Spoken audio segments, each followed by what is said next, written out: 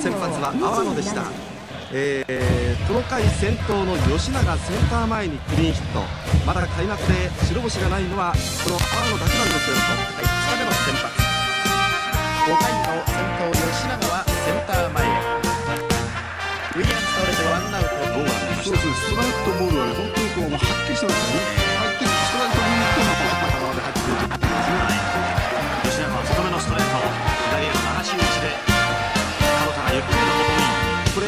れ山沖は下位打線に打たれてしまうんですが。あのね、あのフォークもよく切れたしね、まあ、ストレートはまずまずの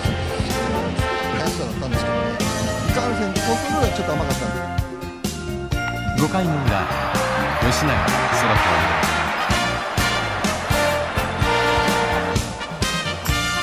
7回には吉永のライトスタンドへ飛び込むツーランホームランで3連勝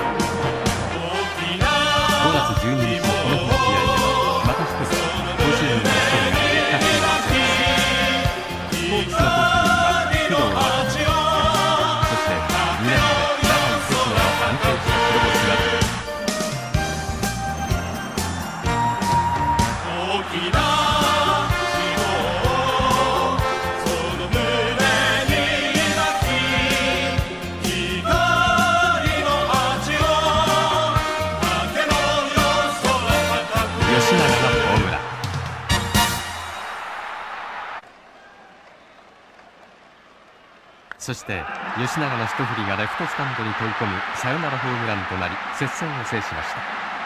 7月9日から引き分け一つを挟んで6連勝。2位に最大7ゲーム差をつけ単独首位の座をがっちりキープしました。そうですねあの打席に入る前にあの監督から、えー肩口のカーブを狙っていけということでそのボール以外はもう振らないとこうと思ってあのちゃんと来ましたね。